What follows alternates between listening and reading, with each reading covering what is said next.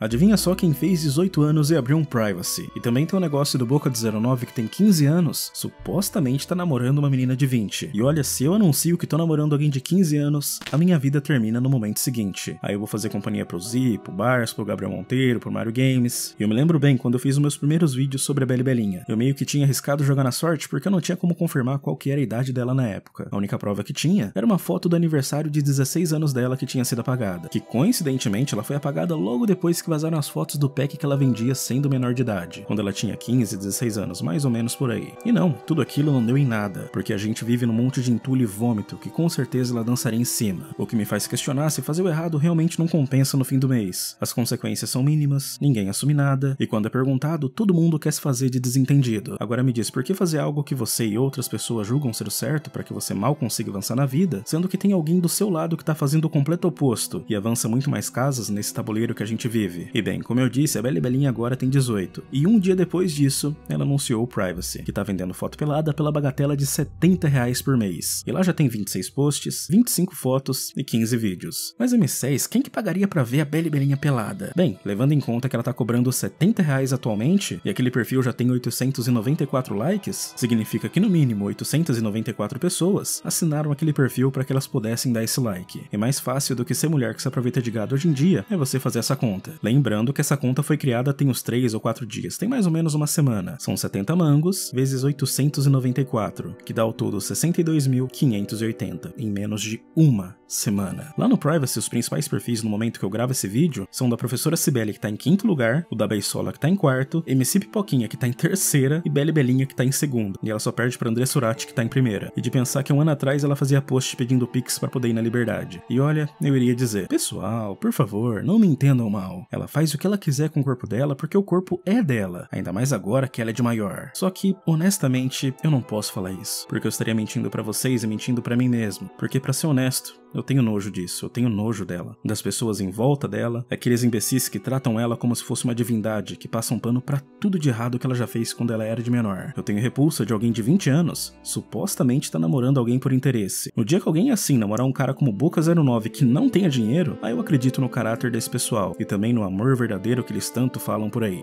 claro. Acho que você já podia testar na prática. Porque tá tudo na. Aí eu falo, tá tipo. Fazer o quê? E agora, eu faço o quê? Eu tô treinando aqui até agora. Vai, Boga, chegou a hora, Boga, vai. Não, volta. Vai sozinha, vai sozinha.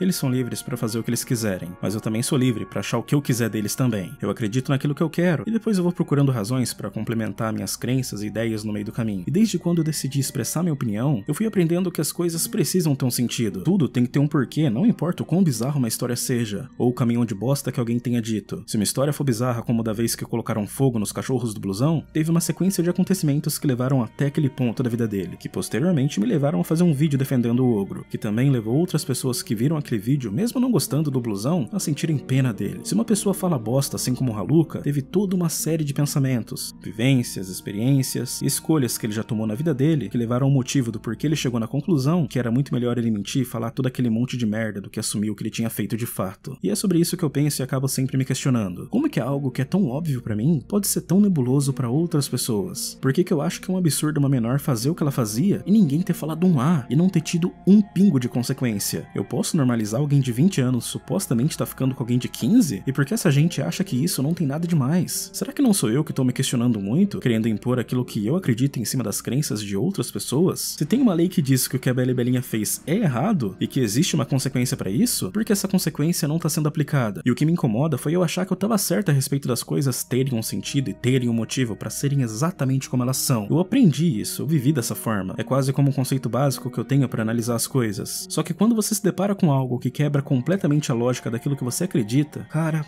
isso é muito frustrante. Bonita,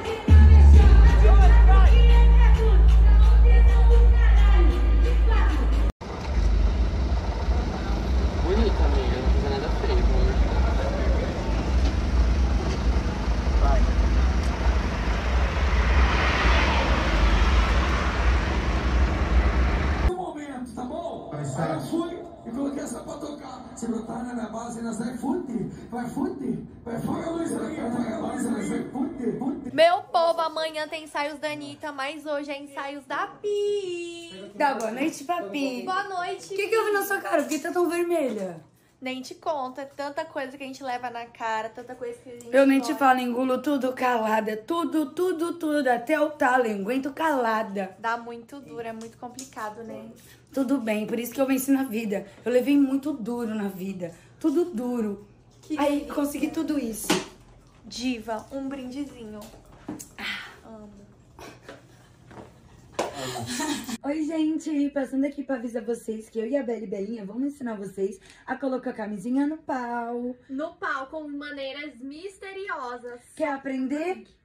Aperta o link. De novo, eu poderia dizer que o corpo é dela, que ela faz o que ela quiser, mas foda-se, porque eu sinto nojo de tudo isso. O meu mais sincero e genuíno sentimento é de repulsa. Cinco segundos no meio deles já seria o bastante para que eu me sentisse completamente enjoado em volta dessa gente nojenta. E quando eu digo que se deparar com algo que quebra completamente o que você acredita, isso vai muito mais além do que só meras palavras jogadas ao vento. Porque eu acreditava que as coisas tinham que ter a droga de um motivo. Tem todo um porquê as coisas funcionam dessa forma. Só que quanto mais eu paro pra pensar do porquê eu tô sentindo isso e do porquê que eu cheguei nessa conclusão, eu simplesmente não consigo encontrar resposta. Será que é porque a Bela e Belinha ganhou numa semana sem esforço algum, o que muita gente ganharia em dois ou até três anos, trabalhando como um escravo, quase recebendo um salário mínimo? Ou será que é porque eu imagino um cenário em que o Boca de 09 fosse uma menina, e essa menina que ele tá fosse um menino? Aí sim seria um problema gigantesco? Honestamente, é como se a minha lógica e percepção do mundo tivesse sendo desafiada aqui. E para vocês que estão aí do outro lado da tela, como que vocês se sentem em relação a essa diferença de realidade? Mas a Messés, então como que você acha que essas pessoas deveriam viver a vida delas? Bem, para ser sincero, eu não acho nada. Meu ponto não é dizer como eles devem ou não viver, e sim questionado por que não existem consequências em alguns desses casos, e do porquê outros são relativos. Essa idolatria de pessoas imbecis que fazem tão pouco, e mesmo assim são muito mais reconhecidas do que quem faz muito. E mesmo que o negócio do Boca seja uma mentira, por que tem tanta gente achando isso bonito barra normal? Não se trata de uma simples inversão de valores, não, nem é isso, não é tão simples assim. O que eu quero dizer com tudo isso é que por um breve momento, eu que me senti errado por pensar dessa forma, como se eu fosse um baita de um filho da puta por chegar a sentir nojo dos meus semelhantes que estão levando a vida deles como eles acham melhor. Mas como eu disse, isso foi por um breve momento, porque depois de eu pensar um pouco, por mais que eu tentasse me sentir como errado ou culpado por pensar assim, eu não tava conseguindo. Aliás, até agora eu não consigo, porque ver a maioria das pessoas vivendo uma realidade cruel por seguirem as leis e as regras se fudendo pra caralho, só me faz sentir uma revolta quando eu olho pro lado e vejo os absurdos que acontecem, de pessoas que escalam muito mais fazendo o completo oposto do que muita gente acredita. Aliás, isso vai muito mais além do que algo que eles acreditam,